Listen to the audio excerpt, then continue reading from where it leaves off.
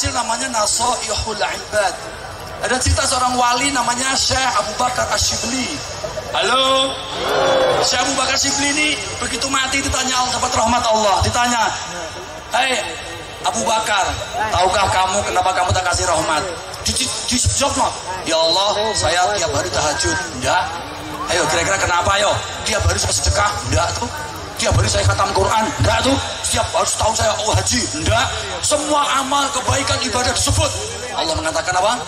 Tidak. Akhirnya Allah mengingatkan sesuatu kepada Syekh Abu Bakar Sibli.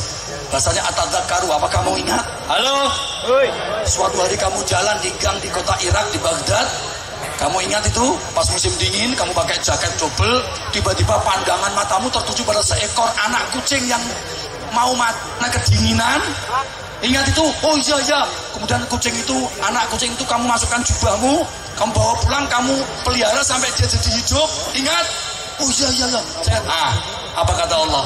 Birahmatika litil kal hirrati rahim tukang.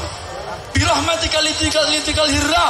Karena kamu kasihan, kamu mesakne, kamu sayang sama anak kucing itu, rahim tukang. Aku juga menyayangimu. Allah. Ngopeni nyelamat no anak kucing. Bisa dapat rahmat. Allah. Apa maning nyelamat no anak randa? Allah Oi. Oi. Sudah banyak cerita kisah Israel banyak saya bahas ini jangan dipandang ini anjing oh, Imam Ghazali laler saya, saya, beli apa? Anak kucing. Allah nggak melihat itunya. Allah hanya melihat apa? Melihat di dasar hatimu. Karena kamu punya ketulusan, punya keikhlasan dalam setiap keperbuatanmu. Itulah yang dilihat Allah karena ikhlasmu, karena kebaikanmu, ketulusanmu. Itu yang dilihat Allah. Makanya jangan pernah sepelekan kebaikan sekecil apa pun. Bisa jadi kalau itu walaupun sepele dan kecil kebaikan itu, tapi kamu ikhlas mengerjakannya, bisa jadi itu sebab turunnya rahmat untuk kita. Allah. Jas, jas. Di jalan ada batu besar, kamu singkirkan.